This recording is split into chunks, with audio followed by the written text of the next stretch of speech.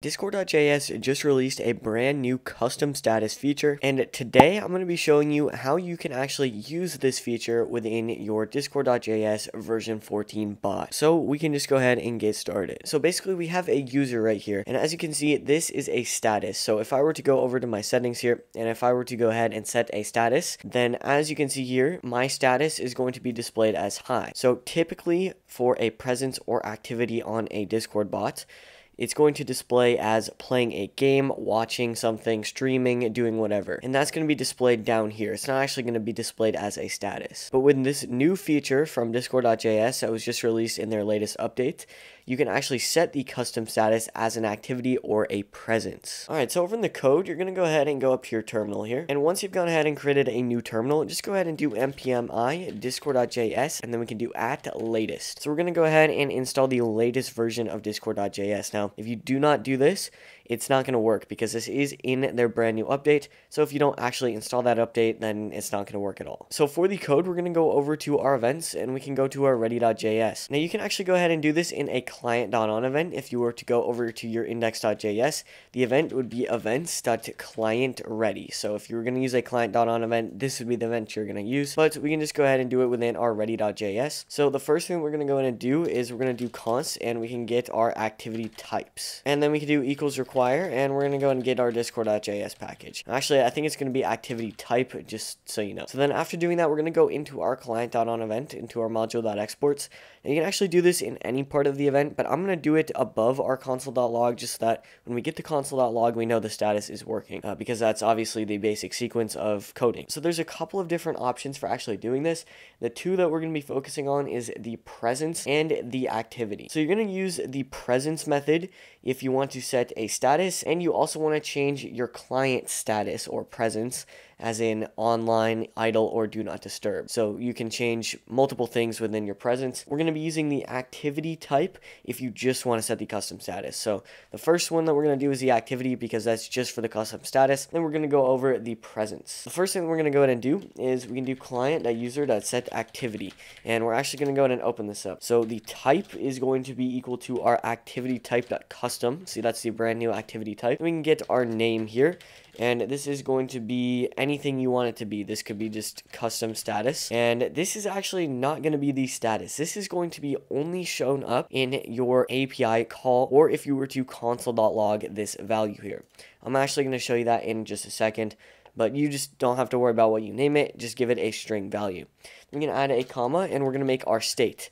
This is going to be the custom status. So we can go ahead and put pretty much anything in here. I'm going to go ahead and put in some random emoji and we can say custom status working just like that. So this is all we actually have to do for our custom status. So if we go ahead and turn our bot on here and we were to go over to our Discord server, as you can see, our bot has the custom status working status with that palm tree emoji. So this is working just as it should. So the next thing that I'm going to go ahead and do is I'm just going to go ahead and give this a variable name. So we can just do status and we can go ahead and make this a brand new variable. Then we're going to go ahead and console.log our status variable and we're actually going to have to do it json.stringify. So we can do json.stringify and we're going to go ahead and get our status because it is an object. So I'm actually going to go ahead and put this at the bottom or below the client dot on just so that we can see it a little bit easier. And we can actually go ahead and turn our bot on. So as you can see here, this is going to be the object that we receive from the API when we actually go ahead and make this request. So our status is going to be online. Our activities is going to be our name, which is custom status. So as you can see here, this is the name. It's going to be custom status, and it's also within that object. Then we have our type, we have our URL, which is null, details null, and we have our state, which is actually going to go ahead and be displayed on the Discord client. So like I mentioned before, the name is only visible within the API, and the state is visible within the Discord client as the custom status. Everything else is pretty much irrelevant here. So the next thing we're going to go ahead and do is I'm actually going to go ahead and come down here, and we can just go ahead and comment this out. We can go ahead and do client.user.setPresence, and we can go ahead and open this up here. We're going to get our activities, and then we can go ahead and open this up with some curly braces and brackets. We're going to go ahead and start off by getting our type, which is going to be the exact exact same. It's going to be our activity type.custom. We can get our name. This is still going to be the exact same. So this is going to be our custom name, whatever you want to make it. And then we can get our state. And this is also going to be the exact same as it was before. So we can just go ahead and get custom status displayed. So now that we've gone ahead and written this in, we can actually come up here and we're going to go ahead and get our status. And we can just go ahead and set this to the status you want. So it's online uh, invisible, idle, and do not disturb. So we're just going to go ahead and get idle because that's the most distinct one. And we can just go ahead and add a comma. Now we can actually go ahead and turn this on. And as you can see in our console here, we're going to get the same object, only this time our status is going to be idle instead of online.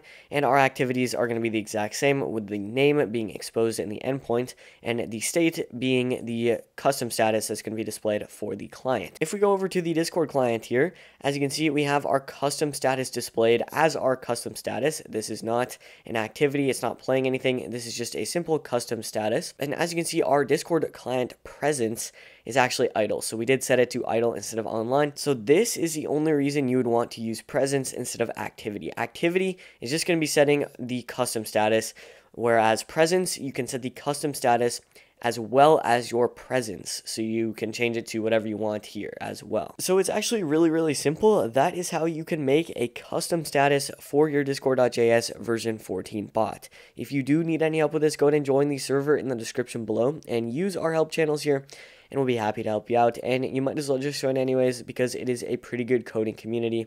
And with that, I will see you guys in the next video.